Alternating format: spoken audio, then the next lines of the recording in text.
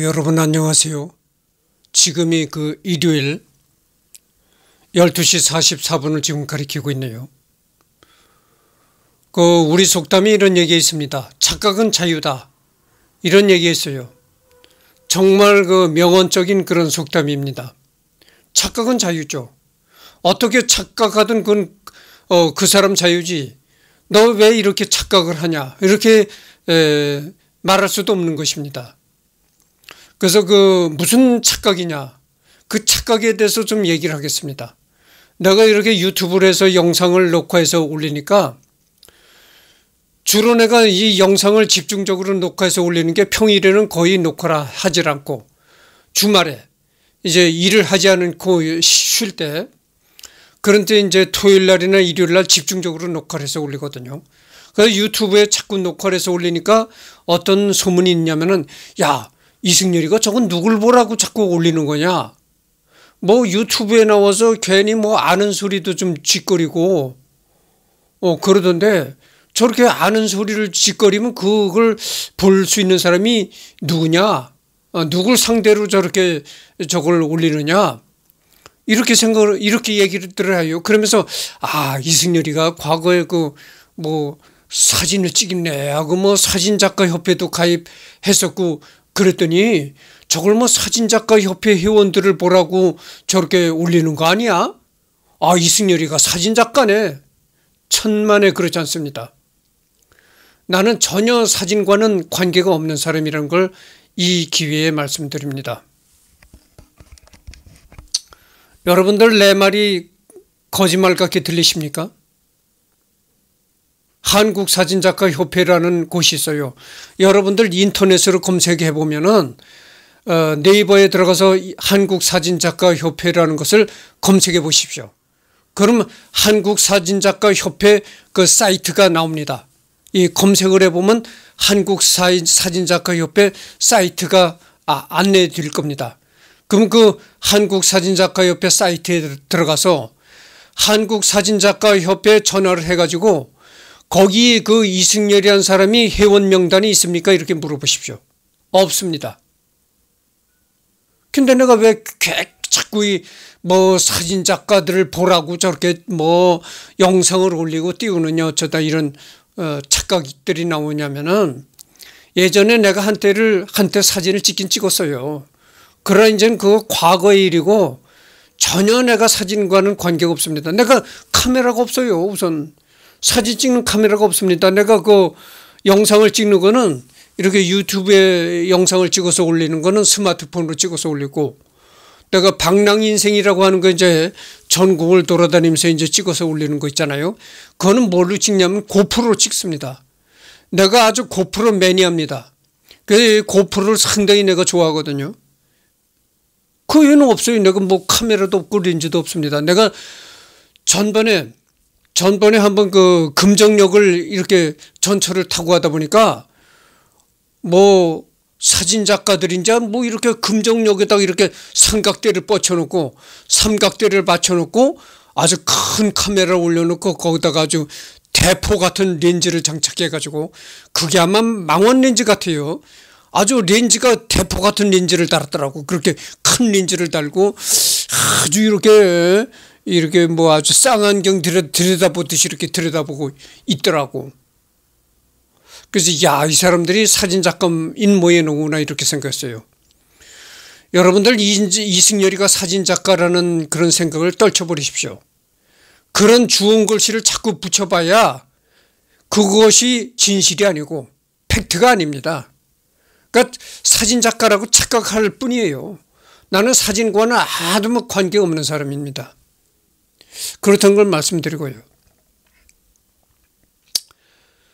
그래서 내가 전번에도 얘기했지만 또 내가 그 나에 대한 그 잘못된 헛소문이 그렇게 많이 돌아요. 근데 그게 잘못된 팩트가 아니라 잘못된 얘기라는 거죠. 착각이라는 얘기입니다. 이승열이가 어디 가나? 이승열이 저 사람이 사진작가라지. 아니 카메라도 없는 사람이 무슨 사진작가란 말이오. 에? 아니 내가 사진작가 협회의 명단에도 없는 사람이고 사진작가 협회라는 곳에 명단도 없을 뿐더러 사진작가 협회라는 곳에 회비도 내가 1년에 일전 한 푼 내는 사람이 아니에요. 회비도 전혀 내는 사람이 아닙니다. 뭘 가지고 이승열이가 사진작가라고 합니까? 사진작가 협회 회원들이 나를 몰라요. 이승열이라는 사람을 얼굴을 모릅니다. 근데 뭘 가지고 도대체 이승열이가 사진작가라고 하는 겁니까? 또, 에? 그렇듯이 이 여러분들이 착각을 합니다. 내가 이렇게 또 최구는 작아도 얼굴이가 이렇게 이제 반반하니까 내가 예전서부터요. 이승열이가 여자가 많다고 그렇게 소문이 많이, 많이 났어요. 뭐, 누구, 누구는 또 나보고 그럽다. 내가 또 연애 박사래. 어? 연애 박사라는 또 그런, 어, 소문까지 돌았어요. 연애 박사다. 아니, 그럼 연애 박사가 왜 한평생 결혼을 안 하고 이렇게 독신으로 삽니까? 예? 아, 이승열이가 여, 여자들한테 또 그렇게 인기가 많다네. 아니, 여자들한테 그렇게 인기가 많은 사람이 왜 한평생 이렇게 독신으로 사나요? 그러니까 내가 얘기하는 건 겁니다. 착각은 자유다 이런 얘기야. 뭐라고 착각을 하든 그거는 착각은 자유인데 진실과는 거리가 먼 팩트와는 거리가 먼 헛소문이고 어? 남의 얘기 좋아하는 이 사람들 어? 남의 말 입방아 찍기 좋아하는 사람들의 입방아에 지나지 않는 얘기다고요. 생각해 보세요. 카메라도 없는 사람이 무슨 사진 작가입니까? 어? 생각해 보십시오. 한국 사진작가 협회에 이름도 없는 사람이고 한국 사진작가 협회의 회비를 1년 가야 회비를 내가 1원도 납부하지 않는 사람이에요. 어? 한국 사진작가 협회 회원들이 나를 이승열이라는 사람은 몰라요. 전혀 모릅니다. 근데 내가 무슨 사진작가란 얘기입니까?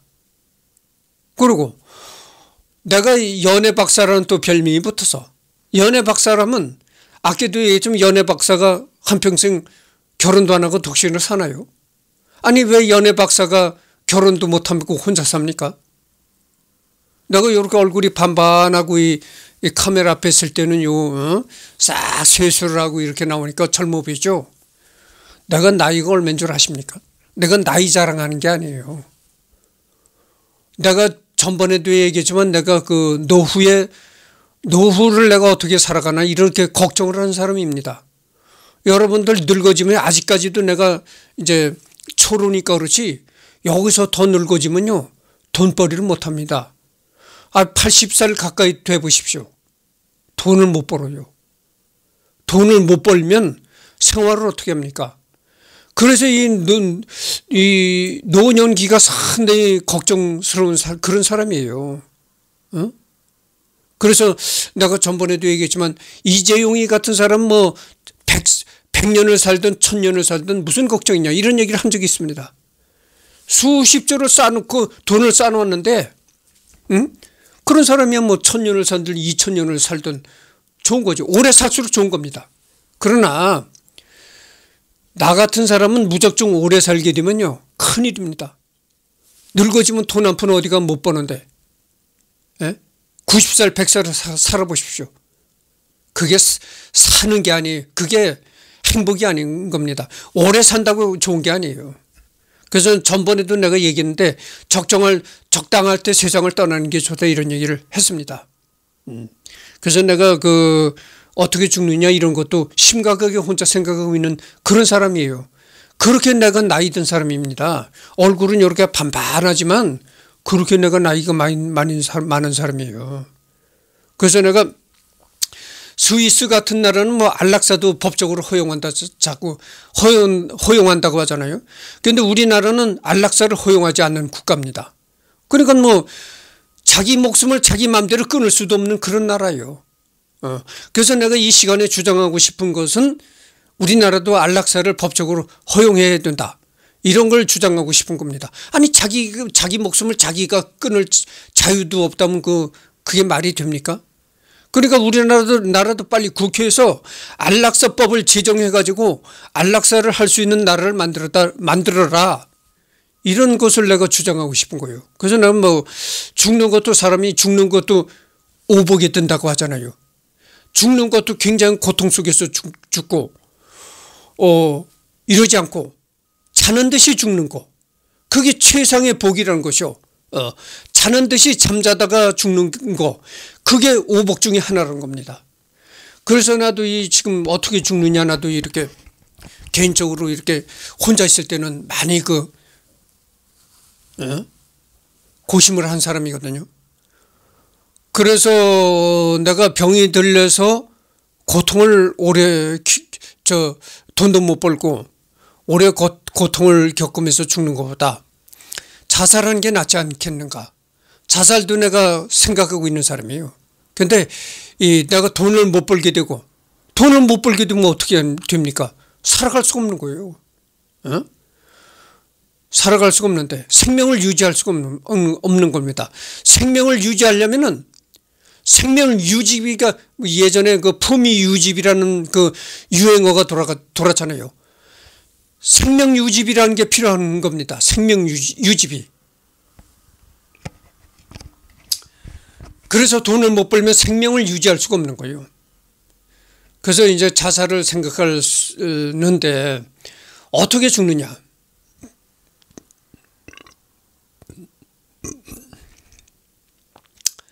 극약을 먹고 죽느냐? 목을 매달아 죽느냐? 정말 인천, 인천 대교에서 투신 자살해 죽느냐? 뭐 별별 방법이 다 있죠. 그런데 다 못할 짓입니다. 여러분들 그 독약을 먹고 극약을 먹고 자살한다는 거 그것도 못할 짓이에요. 그 전에 그 내가 어렸을 때 우리 마을에서 극약을 먹고 자살한 사람을 내가 봤거든요. 봤는데 죽고 싶어서 자살을 했는데 극약을 먹고 엄청난 고통이 다가오는 거예요.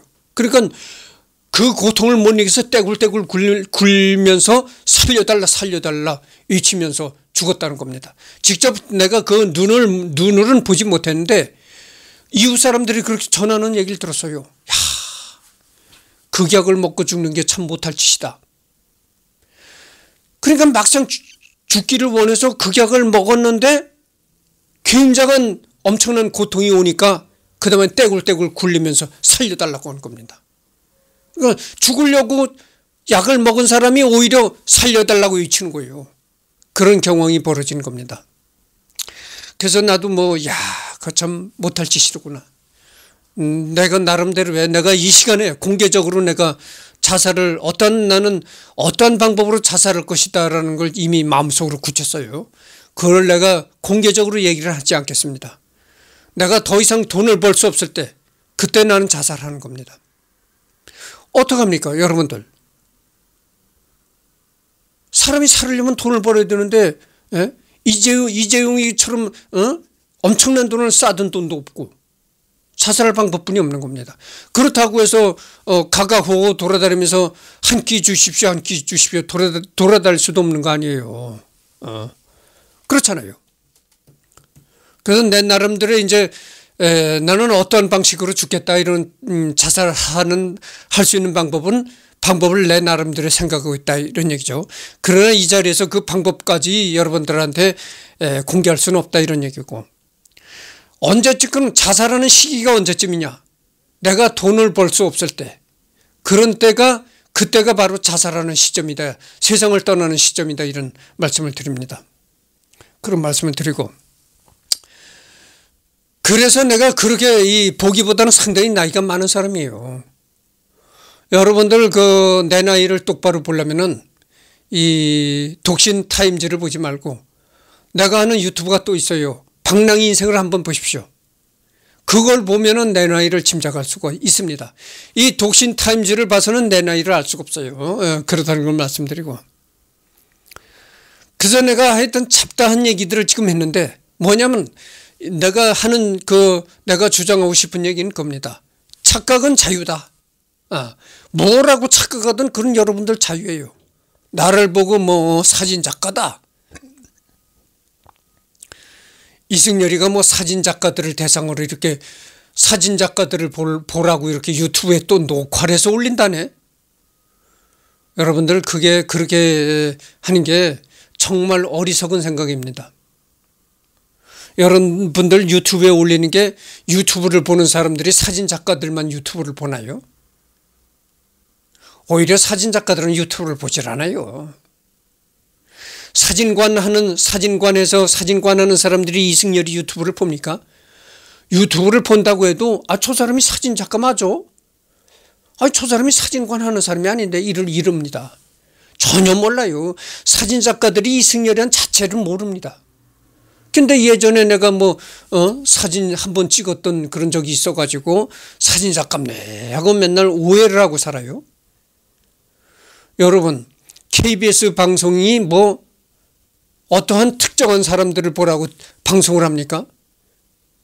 불특정 다수로 방송을 하는 거요. 여러분들 KBS 방송에서 뭐 이렇게 KBS 방송을 이렇게 들여다보고 어떤 정신병자가 그러더랍니다. KBS 방송을 이렇게 들여다보고 야 저것들이 내 얘기를 하네. 아니 저, 저것들이 내 얘기를 또 방송을 하니 이러, 이러더랍니다.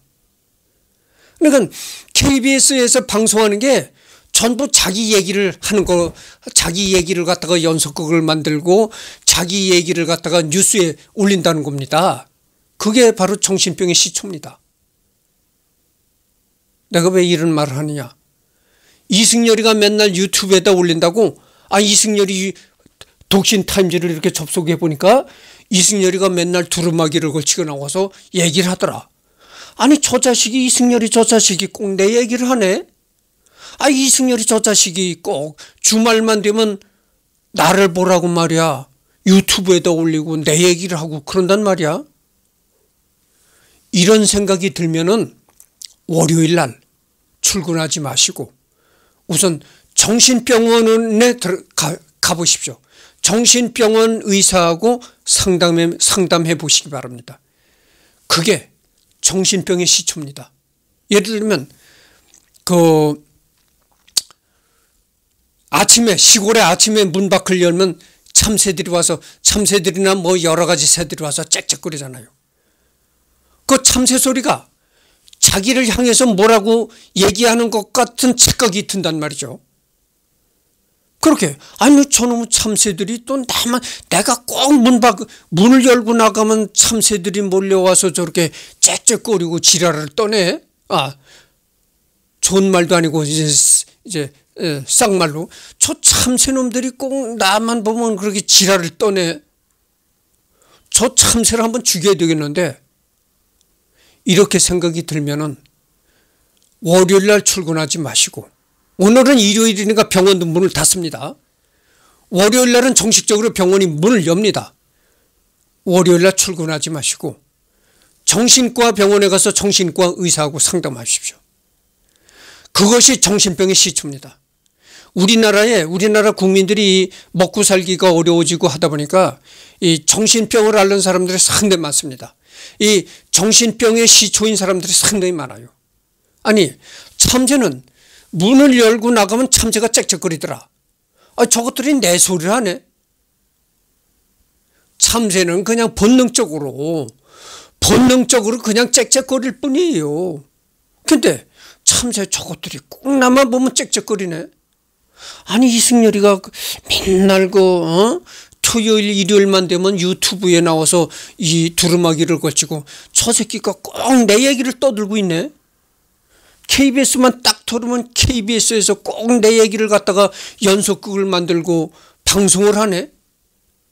이렇게 생각이 들면은 내일 당장 출근하지 말고 정신과 의사하고 상담해 봐라 이런 얘기예요.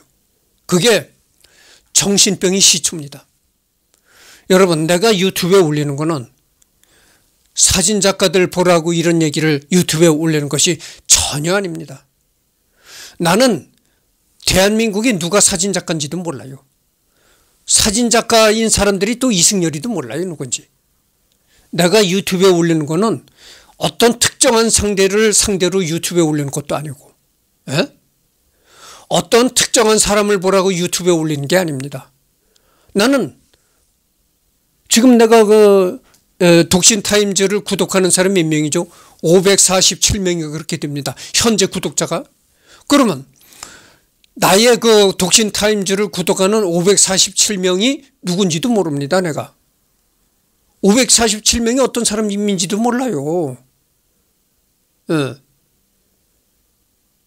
내가 57명의 뭐 일일이 다 누가 누군지 알고 내가 뭐 방송을 합니까? 유튜브 녹화를 해서 올립니까? 그런 겁니다. 그래서 뭐라고 착각하든 그건 뭐 당신들 자유인데 그러나 사실과는 거리가 멀다 이런 얘기예요. 그래서 내가 사진 작가라는 것도 다 헛소리요. 내가 그 어? 연애 박사라는 것도 다 헛소리다. 응? 내가 뭐 여자들한테 인기가 좋다. 다 헛소리입니다. 내가 예전에 예전에 내가 그 나는 원래 가난한 출신이고 흑수저 출신이에요.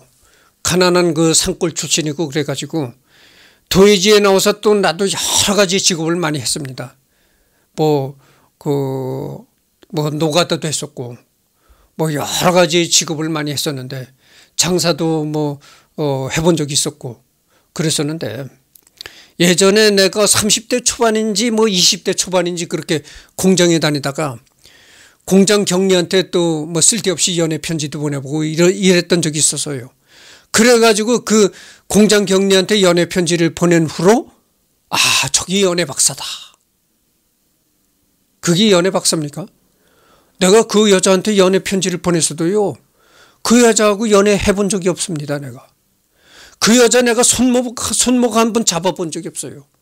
그러니까 뭐냐 일방적인 일방적인 짝사랑을 했다고요. 일방적으로 내가 뭐 연애 편지를 보낸 것이지 그 여자는 나, 나를 전혀 좋아하지 않았습니다. 그렇단 얘기입니다. 그리고 뭐, 어? 뭐, 여자들한테 그렇게 인기가 좋다네. 그럼 내가 그 어, 공장 생활할 때 20대 후반인지 30대 초반에 공장 생활할 때 공장 경리한테 연애 편지 보낸 적이 있었다고 그랬잖아요. 연애 편지를 보내고 나니까 어떤 얘기가 소문에 들리냐면은 나도 이 소문을 많이 듣습니다. 많이 듣는데 내가 소문에 일일이 그 해명이라든가 답을 안 해요. 그렇잖아요. 여러분들 세상 떠도는 소문에 그 어? 일고의 가치도 없는 대답할 가치도 조차도 없는 소문에 일일이 답할 필요가 없는 겁니다. 그래서 내가 소, 많은 소문은 듣고 있지만 내가 일, 일제 얘기를 안 하는 거예요. 근데 그 경리한테 연애 편지를 보내고 나니까 어떤 얘기가 들리느냐 하면은 그 경리는 나 같은 타입을 좋아 안 한다는 겁니다. 여러분들 내가 나 이승열이를 보면 신물을 보면 뭐 실물을 보면 알겠지만 체격이 크질 않아요. 체격이 크질 않고 어, 아주 호리호리합니다. 우선 내가 배가 나오질 않았어요. 내가 나이 60대인데 60대면 대부분 남자들 60이 되면 대부분 배가 이렇게 쑥 내밀고 나왔잖아요. 배도 나오질 않고 아주 20대 총각처럼 그렇게 아주 호리호리합니다. 그런데다가 내가 키도 크질 않아요. 그러니까 예? 그러니까 외모상으로 볼 때 자 키도 안 크지 뭐 배도 안 나왔지. 그때 뭐 30대니까 30대 시절에는 더 배가 안 나왔지.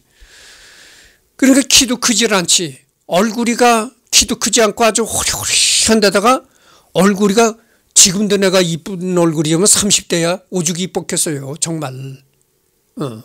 그냥 얼굴이가 그렇게 여자처럼 이쁘니까 뭐 지금으로 말하면 뭐 이준기 같대. 이준기가 이쁘잖아요. 이준기는 그래도 영화 배우니까 키가 107, 이준기가 178이라고 합니다. 거의 180 가까이 되는 키요. 나는 그렇게 키도 안 큽니다. 이 체격이 우선 작은 데다 그렇게 얼굴이 이쁘고 그러니까 아주 여자처럼 여리여리해 보이고 약해 보이고 이랬단 말이죠 내가 그러니까 여자처럼 키도 자그마하고 아주 얼굴도 이쁘고 여리여리하게 약해 보이는 놈이 경리한테 편지, 편지를 보냈더라 그러니까 경리가 경리가 뭐라고 그 이제 소문이 나처 들리느냐면은 저런 타입은 난 좋아하지 않는다. 이런 얘기가 들려요. 그 격리 집안에서도 그 격리 집에서도 나 같은 사람은 사유로 생각하지 않는다는 겁니다. 절대 사유감으로 생각하지 않는다는 거예요. 그 집에서는 그 집에서는 어떤 남자를 어떤 사람을 사위감으로 생각하냐면은 키가 크고 덩치가 크고 우락부락하고 어 험상궂고 이렇게 해서 좀 남자다운 이렇게 그 터프하게 보이는 사람 이런 사람을 사위감으로 원한다는 겁니다. 그 경리도 그런 남자를 원한다는 거예요. 근데 아주 뭐 어, 여자같이 이쁘고 호리호리하고 체격도 작고 그런데다가 뭐 돈이라도 많으면 뭐 그, 그 결점을 다 커버하겠는데 돈도 그렇게 많지 않고 적, 돈도 없고 그렇다는 것이죠. 그래서 내가 원하는 그런 이상량이 아니다. 그 여자 집에서도 나 같은 사람은 전혀 사육감으로 생각하지 않는다는 겁니다. 내가 그런 그 어, 소문을 많이 들었어요. 근데 그래가지고 뭐 연애 박사다. 아니 연애 박사가 왜 60, 60살까지 혼자 삽니까? 그렇게 자꾸 소문이 들리니까 연애 박사다. 뭐 여자들한테 인기가 좋다.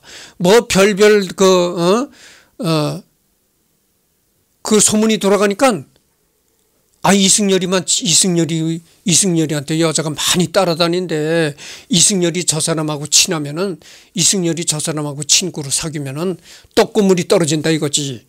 장가 못 간 남자들 이승열이하고 친하면 이승열이가 여자를 많이 몰고 다니니까 어, 여자 여자를 사귈 수 있는 기회가 생긴다 이래 가지고 아 이승열이가 장가 가면 나도 간다. 어, 어.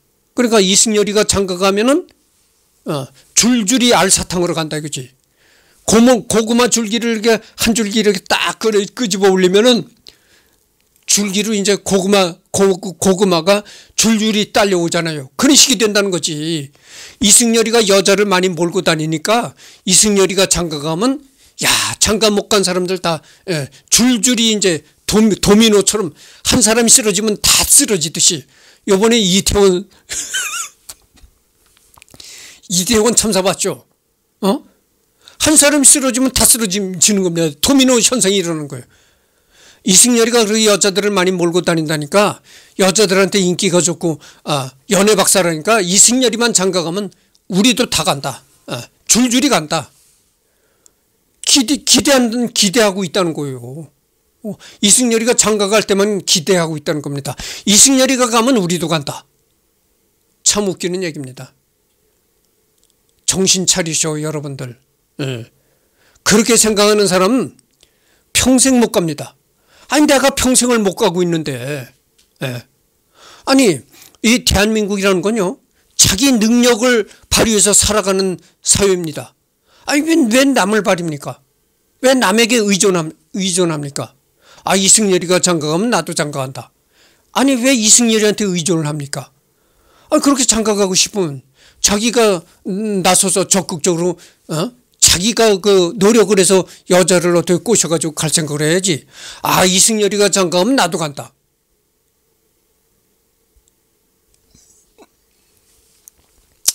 전혀 연애 박사가 아니에요. 생각해 보세요. 에? 예? 아니 여러분들 한번 생각해 보시오.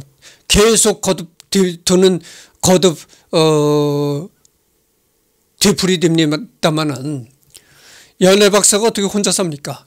에?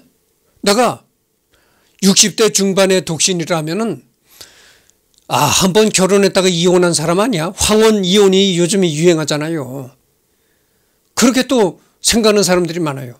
나는 모태 독신입니다. 어머니 뱃속에서 나와가지고 여태까지 독신인 사람이에요. 모태 독신이다 이 말이에요. 근데 그런 사람 보고 뭐 어? 연애 박사다?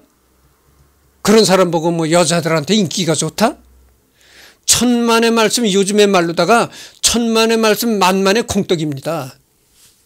천만의 말씀 요즘엔 또 천만의 말씀인다 말씀에다가 만만의 또 콩떡을 붙이더라고. 그러니까 천만의 말씀 만만의 콩떡이다 그거야. 이거 주저리 주저리 참 얘기가 많죠. 어. 참 얘기하면 이렇게 수다를 떨면 참 기분이 좋아집니다. 그건 그렇고 말이죠. 나는 계속 주장하는 게 겁니다. 인구가 줄어야 된다. 음. 내가 전번에 유튜브에 올린 것도 뭐라고 했습니까? 내가 애국자다 그런 얘기를 했잖아요. 우리나라가 인구가 줄어야 되는데 내가 우리 이 나라 인구가 인구를 줄이는데 공헌을 하고 있는 사람이다.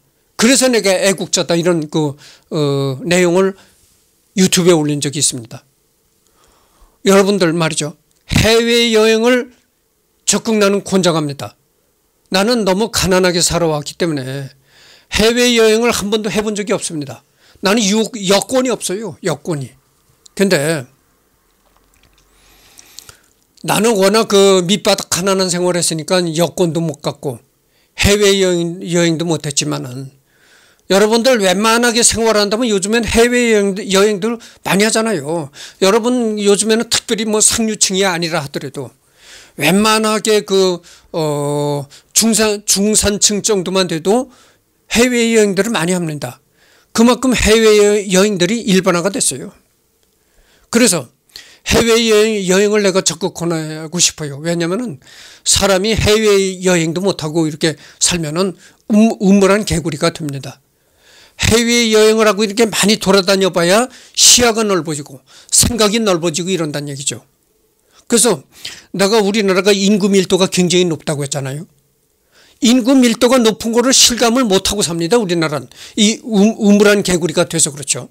그래서 우리나라 사람들이 해외에 여행을 하고 해외 여행을 돌아다니고 보면은 야 우리나라가 전 진짜 인구 밀도가 높은 나라라는 걸 실감하게 됩니다.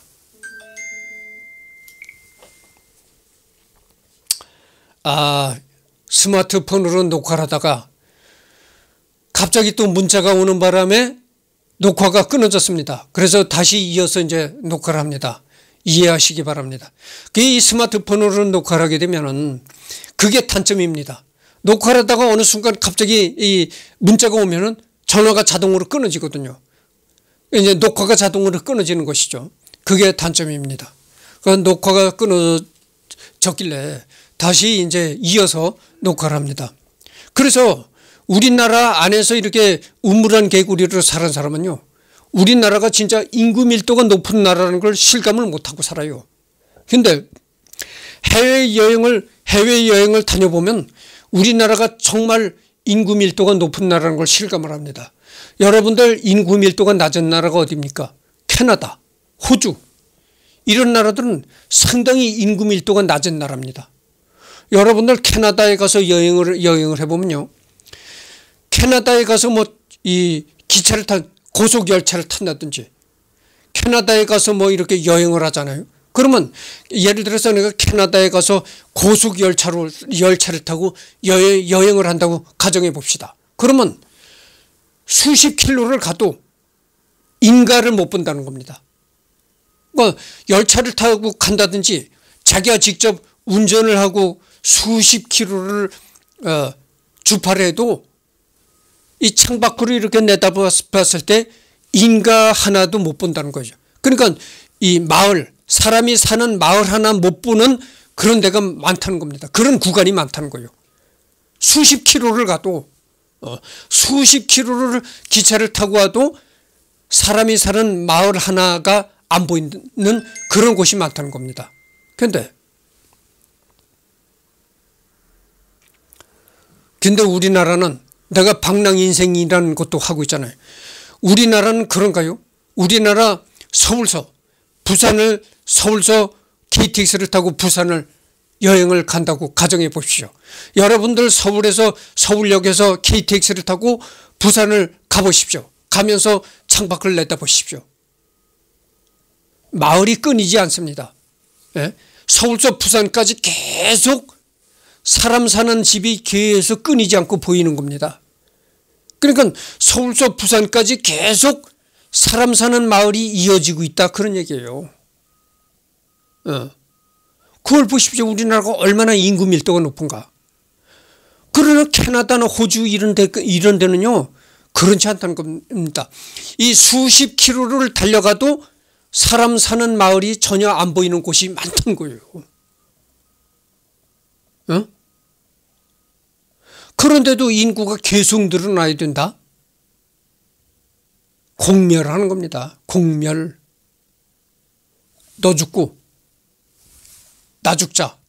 우리 모두 다 같이 죽자 공멸하는 거예요. 대한민국이 정말 공멸하는 겁니다. 어떻게, 어떻게 했어요? 여러분들. 무인 카페 등장.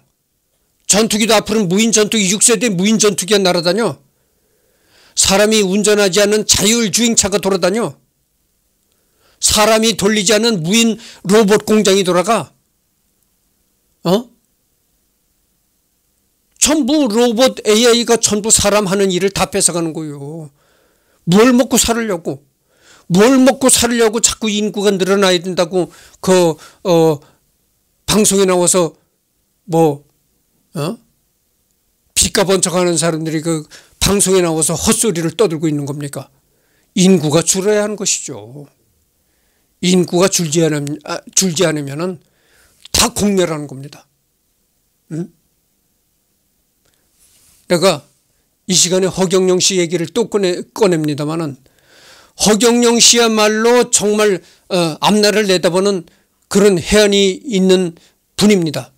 물론 허경영 씨, 허경영 씨 말이 다 옳다는 얘기는 아닌데 일, 허경영 씨 말 중에 상당히 그 귀담아 들어야 할 말이 상당히 많아요. 허경영 씨가 뭐라고 합니까? 전 국민 1인당 150만 원씩 매달 지급한다는 거잖아요. 자신이 대통령이 되면. 그게 헛소리입니까? 그래야 하는 거죠. 사람은 일, 일할 게 없어요. 이제 공장도 무인 공장 돌아가. 어? 앞으로는 이 동사무소에서 응? 도, 뭐 어? 주민등록 등본, 초본 기계가 다 띄워줘. 이제 면석에도 별 필요가 없어. 어?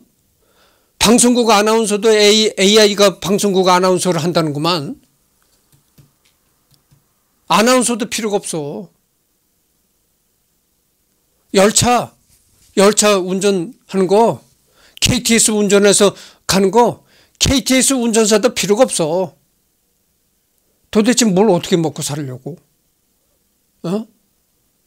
그러면 국가가 1인당 150만 원씩을 지급해 줘야 된다는 얘기야. 150만 원씩. 지금 국가가 어떻게 돈이 많아서 150만 원씩 지급해 주느냐? 어? 여러분들 지금 저 기초생활 수급 기초생활 수급이라고 해가지고 불 저 불우한 사람들 맨날 그 어? 동사무소에서 월 40만 원씩 지급해 주잖아요. 그게 상당한 돈입니다. 그뿐입니까? 이 정부에서 국민들한테 지급하는 돈이 뭐 이것저것 상당히 많아요. 어? 실업급여. 어? 직장 다니다가 직장 떨려 나온 사람들 또 실업급여 신청하면 노동부에서 실업급여 주잖아요.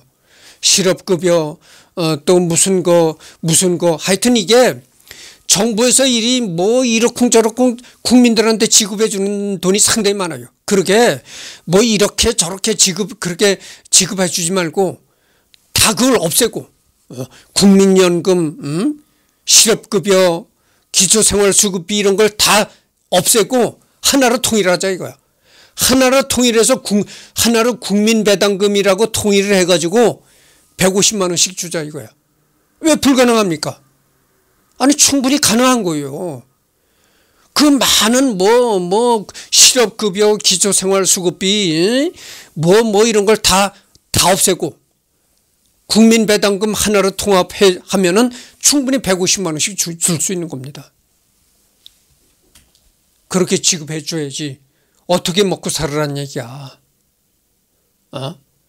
AI 로봇이 다 일자리를, 일자리를 뺏어가는데, 그런데도 인구가 줄어야 한다는 얘기를 안 하고 계속 인구가 늘어야 된다? 다 공멸하는 겁니다. 이 사람들이 텔레비에서 나와서 하는 사람들이 정신없는 사람들이에요. 이 대책 없는 사람들이야. 어? 인구가 늘어야 된다. 어떤, 어떤 그 미친 지자, 지에서는 애를 세, 세, 두, 두명 이상 나면은 뭐 어떤 또 포상금까지 준대 또 몇천만 원씩 준대. 이게 미친 지랄이라고 미친 지랄. 내가 막말하고 싶은 거예요 정말. 인구가 줄어야 하는 것이죠. 인구가 줄어야 인구가 줄어야 살 길이 나오는 거지. 인구 밀도가 계속 높아지면은 너 죽고 나 죽자가 되는 거예요. 너 죽고 나 죽고 우리 다 같이 죽고 우리 다 같이 공멸하자 이런 이런 상황뿐이 나올 게 없는 거예요. 그래서 내가 굉장히 뭐 횡설수설 어, 이것저것 진짜 말이 많았습니다. 그래서 오늘은 저 더 이상 그 어, 녹화를 안 하려고 합니다. 굉장히 내가 그 장시간 수다를 떨었는데 그래서 착각은 요번에 내가 하고 싶은 얘기는 겁니다. 착각은 자유다. 이런 얘기를 내가 하고 싶은 거예요. 어. 내가 뭐 끝으로 내가 또 한 가지 주장하고 싶은데 이승열이가 사진작가다? 카메라도 없는 사람이 무슨 사진작가? 이승열이가 뭐 연애 박사다? 한평생 결혼도 못한 사람이 무슨 연애 박사? 이승열이가 여자들한테 뭐 인기가 좋다? 결혼도 못한 사람이 무슨 인기가 좋아? 그러니까 착각은 자유다 이 말입니다. 네. 그 오늘 녹화는 없으니까 여러분들 또 다음 주일에 기대하시기 바랍니다. 그리고 착각은 자유인데 이승열이 녹화를 보고 아 저 새끼는 꼭 토요일 일요일만 되면 내 얘기를 하네 이렇게 느껴지는 사람은 내일 출근하지 말고 정신병원에 꼭 가보시기 바랍니다. 예.